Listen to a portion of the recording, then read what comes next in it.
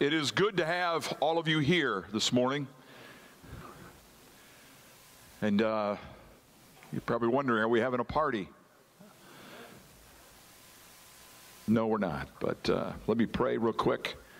That, by the way, I've mentioned Doug in passing in a couple of messages. That was Doug Van Hoff, and uh, I love that guy. And uh, what, what a man who's who loves Christ. Boy, just bleeds out through his pores. Uh, let me pray. Lord, thank you for the opportunity for us to be in this place. And as we uh, move forward into this time of continued worship, this is of great importance to us, this moment. I thank you for it.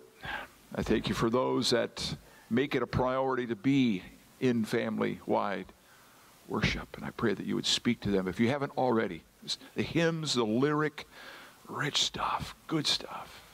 Holy, holy Lord God Almighty. Thank you, Lord. May you uh, remind us of that holiness and the fact that indeed, as Hebrews, that verse was quoted by, uh, by Doug, you have made perfect forever those who are being made holy. That's a process. Help us towards that end. Thank you for the body of Christ in your name. Amen. We're walking through the book of Acts. The book of Acts is the story of the birth and the spread of the church. Now, the church is not a building, it is not a time of day or week. It is who we are. We come into a meeting place. That's what this is. Together once a week, and we try to make it count. Let me share uh, a piece of scripture. Uh, we're going to be moving into Acts chapter 2 this morning, verses 14 through 41. And uh, it is a, an opportunity for us to, before we get there, I want to uh, highlight a couple of things. You note the fact that there are balloons on stage. I was trying to do some calculations this past week, and I'm not very good at math, but I did get a few on my own before I had to call out and get some help. I'm really, seriously, I'm not a great, when, let me, let me be humbly confess, and perhaps it's a sad note, but it's true. When it came to letters being a part of mathematics, I was out the door. So that didn't take me very far in math relative to algebra, I guess, is where you start getting H's and L's and Q's and whatever else. So, um, so if you can imagine far more balloons than what I pumped up, I was getting dizzy, so I stopped. Here's the illustration. Inside each one of us, there are 24 hours to a day. We have seven days a week. I have this kind of a, in a box on your outline on that right hand side. There are seven days a week, and there are a total of 168 hours inside those seven days. Inside those 168 hours, if you calculate that out into minutes, you have 10,080 minutes per week given to us to live. Okay? Each day is comprised of 10,080 minutes. Okay? Imagine, if you will, there are 10,080 balloons up here all over the place. That would comprise the amount of time that we have given to us each and every week. What we try to comprise or try to uh, limit ourselves to on a Sunday morning when it comes to this time, what we call family wide worship, I would say it would be plus or minus close to 70 minutes, all things told. And so, what I did, this is where I needed that phone call. Uh, what I did is I calculated or had calculated for me what 70 minutes works into divided into 10,080 minutes. And at the end of the day, it is that figure you have 0.00694% of 10,080 minutes is devoted to family-wide worship. This moment here. So here's, here's, the, here's the 70 minutes, the 00694 percentage, next to all of these other balloons, which if you multiplied them and we had 10,080, you would see that it was rather minute. So we want to make the most of it. Do we not? We do. Uh, we do. Uh, what is the very first activity uh, that, was, uh, that ushered in the start of the church, um, the church era. At the end of the day, one element inside our worship uh, remains a non negotiable. Uh, again, can you guess what it might be? What's that? well, I'm not going to argue that prayer's really right up there, of course. Yes. That's good, Judy. That's real good. Yeah. Uh, there are a lot of good ones. One piece of what we call worship that is a bedrock that we cling to, and you spoke to that when we interviewed you a year ago, and we re- remain steadfast in, is preaching. Preaching. The very first event that took place in church history, starting the church era, following the coming of the Holy Spirit, is a sermon given by Peter. A sermon given by Peter. That's our focal point this morning in chapter 2 of, of Acts. And it, the, fact of the, the, the fact of the matter is, Christ centered preaching is what the book of Acts is all about. Example after example.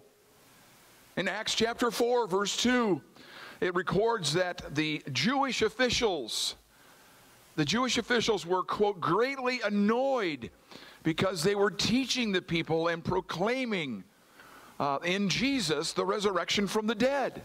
They were preaching, they were sharing.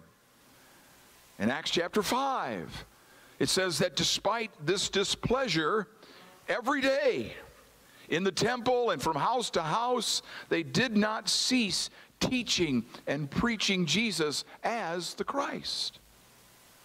In Acts chapter 8, verse 4, after the persecution of the church begins, those who were scattered went about preaching, sharing the word. Uh, Acts 8 records the preaching of Philip and Peter and John the, eh, to the Samaritans, and Philip to the Ethiopian eunuch. It also describes the further preaching ministry of Philip. In Acts chapter 9, it kicks off, it kickstarts the ministry of the Apostle Paul, who immediately upon his conversion proclaimed or preached or taught Jesus in the synagogues, saying, He is the Son of God. In Acts chapter 11, 20 and 21, describes the ministry of men from Cyprus and Cyrene who went to Antioch and began to speak to Greeks also, telling them the good news about the Lord Jesus. The Lord's hand was with them, and a great number of people believed and turned to the Lord. So why here? Why why is preaching? Why is the ministry of the word such a priority for the church? Why was it that it was the match that started the era of the church? The answer is it reflected the example modeled by Jesus himself. At the very outset of his earthly ministry, it says that Jesus began to preach, saying, Repent, for the kingdom of heaven is at hand. Matthew's gospel. And also in, the, in Mark and Luke. In Luke chapter 4, verse 43, Jesus said, quote, I must preach. I must preach the good news of the kingdom of God to the other towns as well. For I was sent for this purpose. They, if you remember that story in the context, they were saying, hey, hey there are more people that need to see you here. They, more people are, are interested in you. They want something from you. And he says, No, I need to go elsewhere. Why? Because I need to preach the kingdom of God.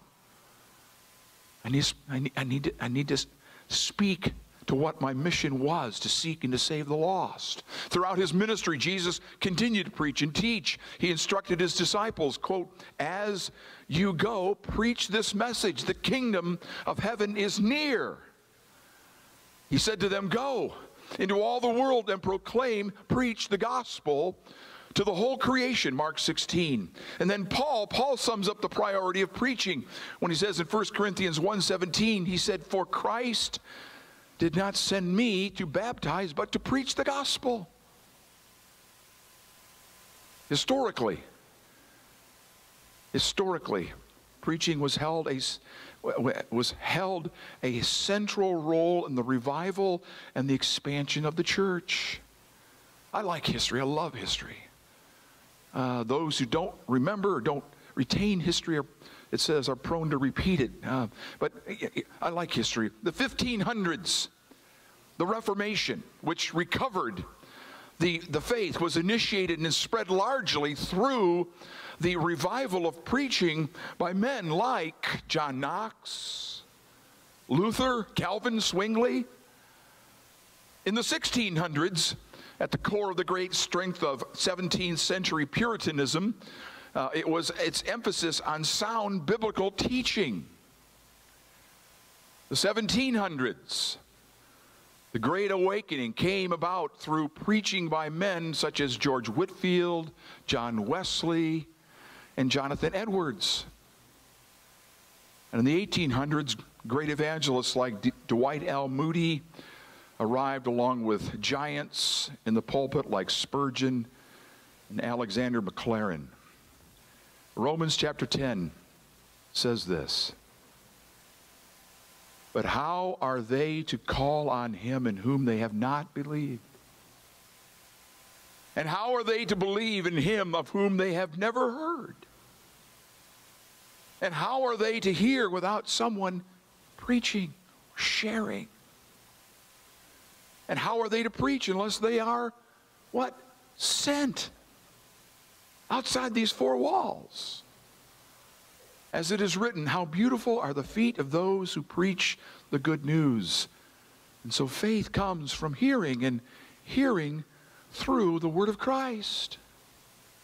I scribbled this in the side of my message this morning as I went through it. I said, you know, if we're not telling, we're not selling. Selling the joy, the prominence, the security, the counsel, the light of our highest treasure. Who is that? It's Jesus. If we're not telling, we're not selling. Um, three questions that I have been challenged to ask in preparing a message. And uh, one, does the sermon say what the passage says? Uh, if you dig and you, you dig into the passage, you, you bring it out, what's out of it, it's called X out of exegesis. You're taking something and grabbing it from outside the text, or uh, rather, you're bringing out from the text that which is intended to be shared. When you when you come into a passage looking for something and looking for something to say, uh, and you want to find a verse to just kind of collaborate or whatever, uh, so often that can turn into being something called eisegesis, reading into the text and pulling something out of it. So one of the questions I'm I'm always faced with is does the sermon say what the passage says? Is it true to the text?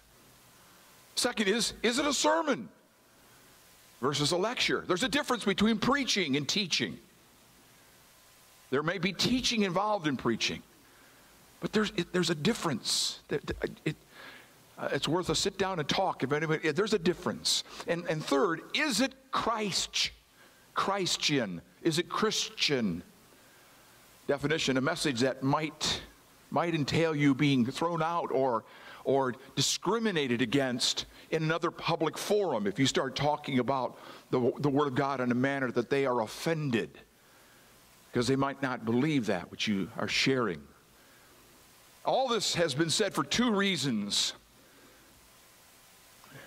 Two reasons. And I'll try to add an application point for all of us. Number one, it reminds us to never allow the ministry of the word to be neglected.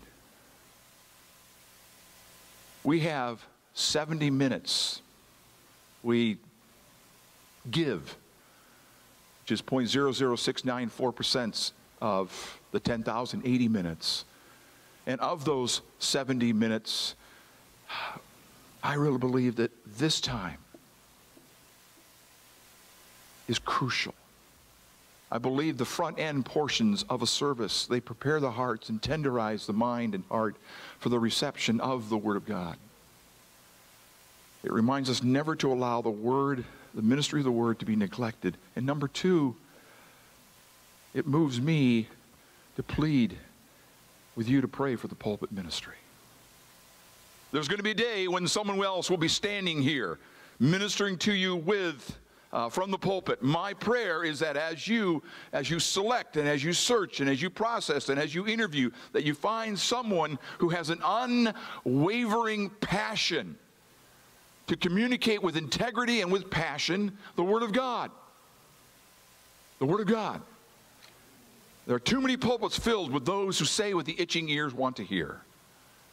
Or they want to preach topically all the time. That's dangerous. And although, here's the application point, although most Christians do not preach sermons, each one of us, as confessing Christ followers, we have many opportunities to speak about Christ. We are, Scripture says, we are living epistles. We are living epistles, letters, if you will. We're living letters read by all men. If you've made a declaration of being one who loves Christ and you're a Christian, you go to church, and someone knows that in your work spot or your school or wherever, man, believe me, they are watching you. You're a living letter read by all men. We are. Let's get into the text here if we could. Reminder. First one coming right out of the box is this in verses 14 through 16.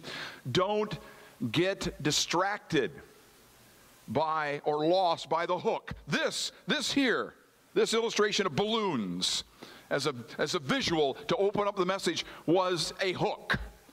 And I don't know whether it worked or not, but it was a hook. It was attempting to get you into where we're going in the morning, into the text.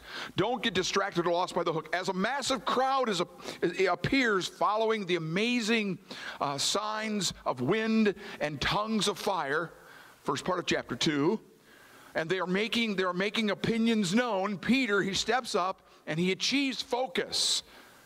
He steps up he stands up and he he achieves focus. And he says here to listen up. Don't get distracted by what you just heard and saw. He said these men that they were being accused of, of being drunk these men are not drunk as you suppose since it's only the third hour of the day. It's nine o'clock in the morning for pete's sake they're not drunk. But know this, he goes on, there is significance to what just happened. This is a watershed moment. He then weaves together. He weaves together a powerful apologetic. That means a defense of the faith. A powerful apologetic and evangelistic and evangelistic sermon utilizing quotes from Scripture. It's incredible, this, this, this fisherman fairly unschooled, what he retains, what he remembers as he shares with these people. Core truths. There are a few of them as you see from your outline. Number one, below, below know this the last days, they have begun. They have begun. Verses 17 and following. The, the, the match has been lit. He says, This is what was uttered through the prophet Joel. What you have just seen, this is what was uttered through the prophet Joel. And in the last days it shall be, God declares, that I will pour out my spirit on all flesh. That's happening now, friends. That's what he says. The messianic era, which stretches between the two comings of Christ, is the age of the Holy Spirit where his ministry is seen and felt in abundance. Uh, the Spirit is being poured out like a heavy downpour, and it is affecting all types of people. It's not discriminating. All types of people. He says inside the context of this message, there are no social distinctions. It's touching sons and daughters. There are no age distinctions, young men and old men, and no class or rank distinctions. He cites servants, slaves, is the real word in the text. Peter refers to this Old Testament text from Joel first because it was the clearest and most obvious prophecy detailing the outpouring of the Holy Spirit. We are living inside these last days. We are. We are. God has graciously called we I mean, you, someone might be Jewish here, but we, we Gentiles, God has graciously called we Gentiles to salvation and has chastised Israel for her unbelief. And what we see here in Acts chapter 2 and continue to experience in the here and now is really a preview of what will be blown out in the millennium or the millennial kingdom. It is in the millennial, uh, millennium kingdom, God will pour out his spirit on all, since all who enter the kingdom will be saved. During this church era, God pours out his spirit into believers. In the millennium kingdom, there will be perfect peace. Isaiah chapter 9, verse 7. There will be perfect peace. Um, peace, peace now, now rules, now rules in the hearts of believers who have been drawn to the Father. And uh, let me just pause and ask that question. One day, peace will be, will be apparent all over. There will be in the millennium kingdom. But peace should now rule your heart and my heart.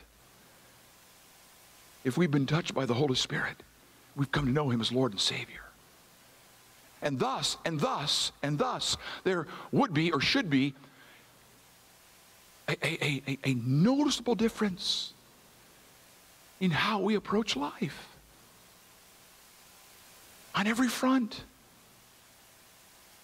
We know what it is to cast all of our cares on Him because we know that He cares for us.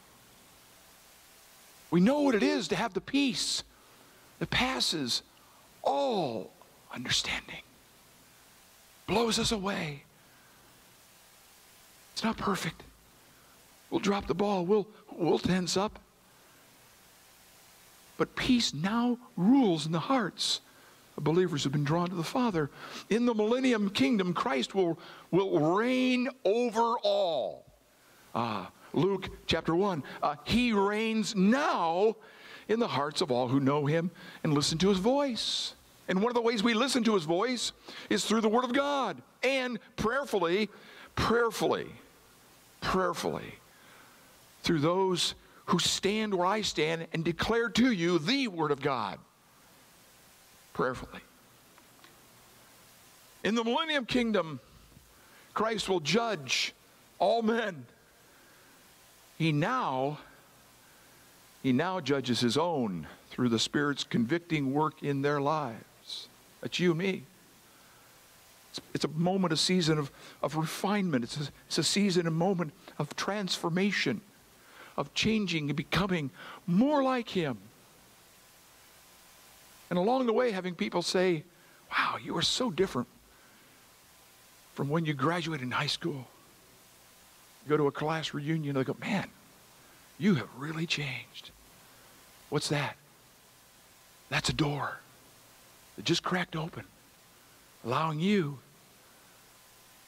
tiptoe into it and speak to why there's been that change. Between the day of Pentecost and the day of the Lord, there stretches a good period where the story of Jesus is to be told and the opportunity to respond given. Part of that story details Jesus' life and ministry. Uh, Peter, gosh, Peter, Peter, who, who along with all the rest, ran and hid and, and denied. He's now standing with the eleven, lifted up his voice boldly, shoulder to shoulder with the others, preaching in the shadow of the temple. And he says, Jesus was a man attested to you by God with mighty works and wonders and signs that God did through him in your midst, as you yourselves know. And here's the kicker number two this is a presentation, this is a sharing. The first point is that the last days have begun. Number two, you, you, and I, you and I, willingly put Jesus to death. But the parenthesis to the point is this God the Father was behind it all. Verses 22 and 23. It was no accident. It was no accident Each one of us, as stained sinners, we dealt a blow of persecution and torture. Uh, each one of us cried out for his death Crucify him! Crucify him! One of the most potent or penetrating hymns that we sing near the season of, of, of uh, Lent. Were you there?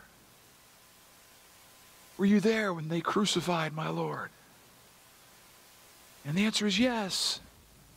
Yes. But, but, buts are powerful. But our action was supplemental, it was supporting, actor like, to God the Father's leading role. Through Jesus' death, God, the Father's saving purpose was being uh, worked out. Praise God. Praise the Father.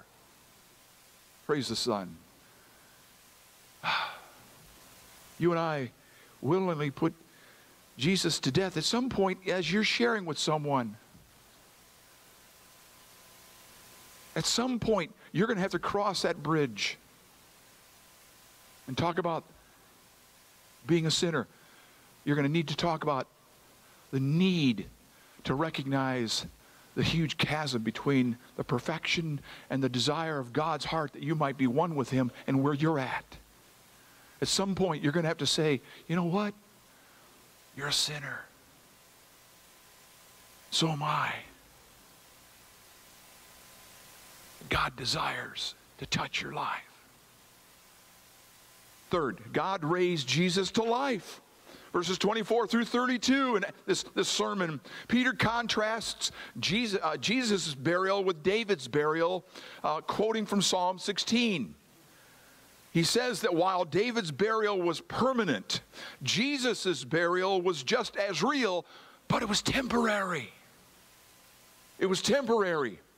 Uh, God raised him up, he says. Uh, he says, loosing, loosing the pangs of death because it was not possible for him to be held by it.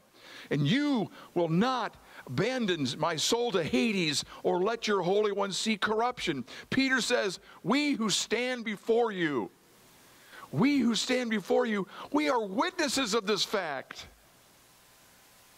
Uh, uh, the, the rumors are true. Jesus just spent 40 days with us after he was put to death. It's true. Our, our transformed and transforming lives are also proof. Are also proof. Check out Romans 1, 2, Romans 12, 1 and 2 being transformed by the renewal of your mind. Why? Because God has, has touched you, and you are now living a life sacrificially, devoting it to Him in the day to day. You and I willingly put Jesus to death. But God was behind it all, and God raised Jesus to life. Number four, Jesus lives and he reigns over all. Peter says, Jesus is alive. He is present tense. He is exalted at the right hand of God, quote unquote, reigning over all. Over all. He is pouring forth his spirit upon those who are receiving who received him as Savior and Lord for the express purpose. Let me, let me underscore this. Let me underline this. Let me highlight this. He is pouring out his spirit upon those who have received him as Savior and Lord for the express purpose of making him known. Salt is coming out of the bottle. We're telling you today, and it will be repeated over and over and over throughout the book of Acts. Salvation is found in no one else, for there is no other, no other name given under heaven by which we must be saved. Yes, we are discriminating. Yes, we are being prejudicial. Yes, we are being compassionate. Yes, we are imploring you know Christ. Be reconciled to God. These are the core truths that Peter's preaching here in this passage. One of the most important elements of any sermon, I believe, however, is the so what. So what? What do I do with this now? You're, you're, you're telling me all this stuff. What do I do? Put it together for me. What is the life change that's being sought? What am I supposed to do with what is being shared? You have an episode of this. I'll get to it in a second. you know, Peter can urge. Uh, I got. I, I'm not. I, I, I'm. I, I'm. Uh, you know that when I communicate from the pulpit, that I work up a sweat. I go through shirts like no one else. And uh, Marlene Hagel said, "You know, uh, if you if you you always talk about how hot it is up there, why, why do you dress like you do? You've got a nice." Sweat. I said, "Well, I, I, feel like I need to look decent. If it, I, uh, if it were up to me, I'd be here in shorts and a t-shirt, but I'd still perspire." Peter, here's the deal. Peter can urge, he can plead. He even hints at the action step, quoting from Luke's prophecy in verse 21.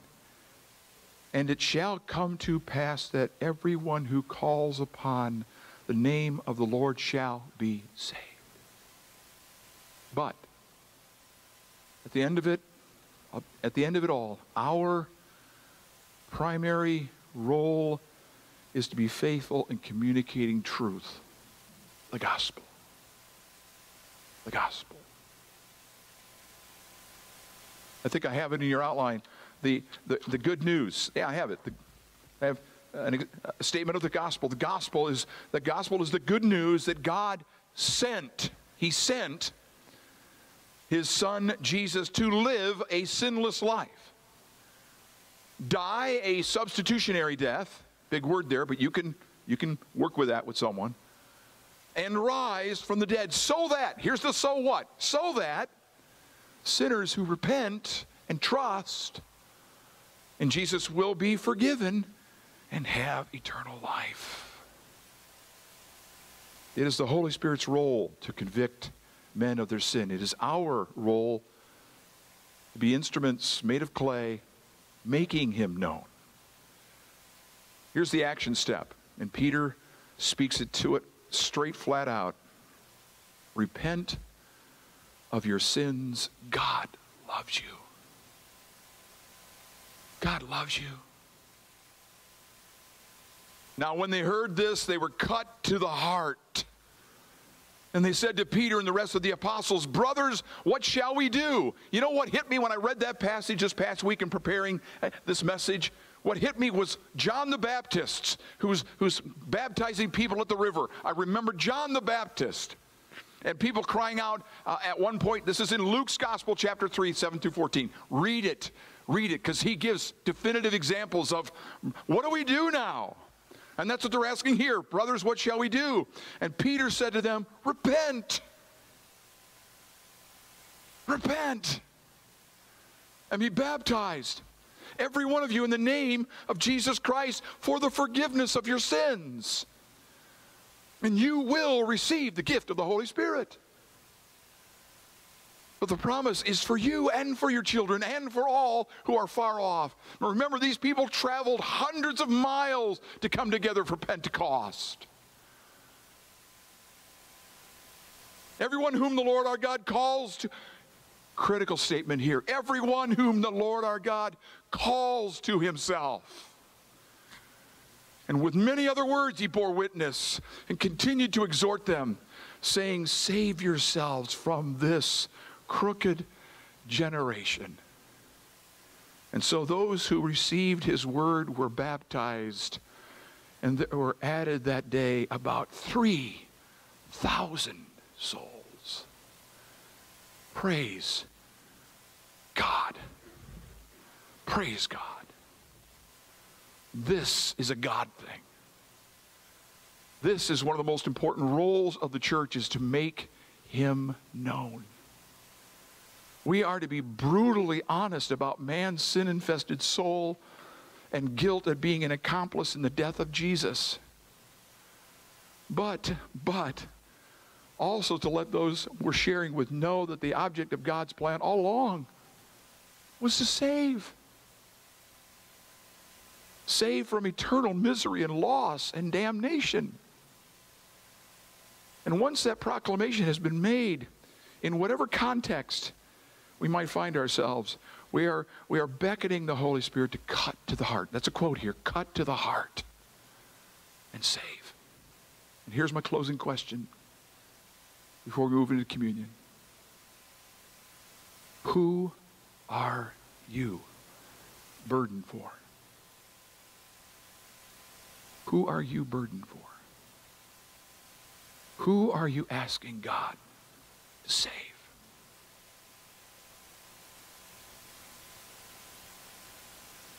There should be a name that just jumped out. Maybe more than one. Father, I pray that you would uh, do a work in our lives, that you would use these few minutes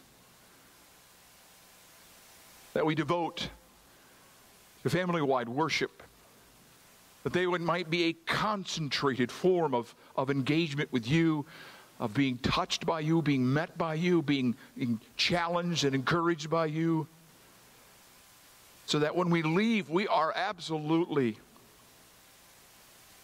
on fire through the Spirit to make you known, to fulfill the mission that you've given to us to go and to make all make disciples of all people. Take advantage, open doors for us, Lord. Give us guidance. Give us the words. Thank you for this time.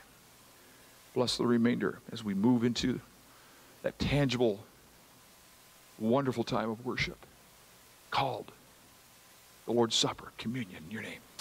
Amen.